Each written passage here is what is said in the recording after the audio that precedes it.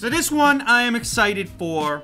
I've been waiting on this for a while. It's called the Glyph. This is the Founders Edition, and it's such a hard thing to explain to you if you haven't heard of it. It looks like headphones, right? Well, it is. It sits on top of your head like headphones, so you can be inconspicuous when you're out and about. But at any point in time, you can flip it down, the headphones stay on, and now you have screens, HD screens in, in front of each eyeball, and you can enjoy something that you will perceive to be as a 50 or 60 inch television in front of your eyes without it being there. You know what I'm saying? You'll see it works with smartphones, computers, tablets, game consoles, and even drones. Definitely gonna try that out in an upcoming video. Retinal imaging, technology, optic, nerve, and Battery life of up to four hours. It charges via micro USB. This is not a VR headset. What you are seeing is just a nice, big, personal image. Let's crack this open.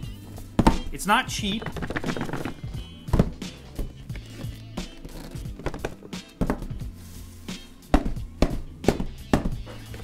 Okay, some cables. Oh, sweet. Okay. This looks like a micro HDMI to HDMI. A micro USB cable to keep it charged up. Oh my goodness, is that ever soft. It's like a, oh, a luxurious carrying case over here. Some kind of strap.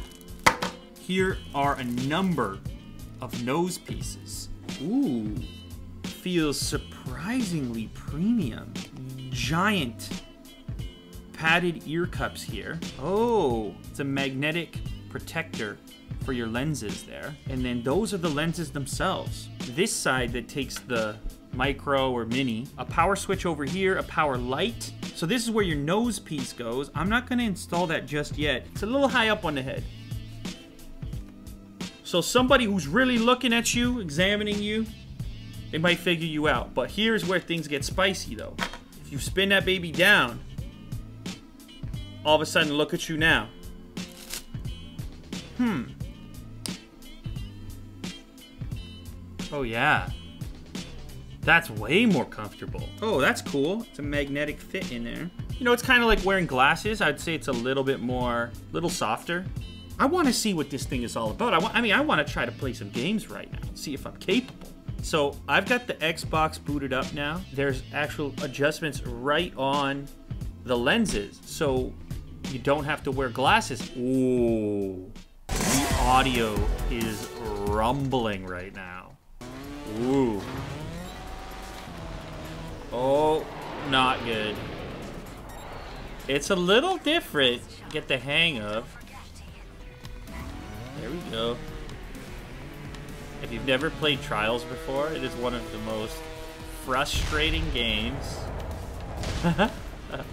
but I love it! I love the frustration of it eventually you will snap and you'll take it out on your loved ones.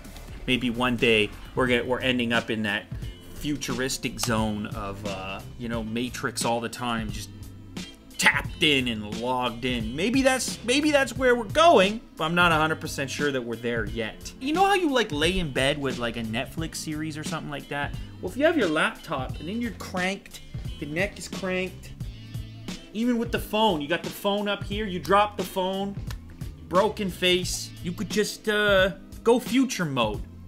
Alright? Be on the cutting edge. For the enthusiasts who give zero Fs. You know, their mom comes home, they're like, Leave me alone, mom! I'm in the game world! I like it better in here. But yes, I'll still have that grilled cheese and chocolate milk. Thanks, Mom!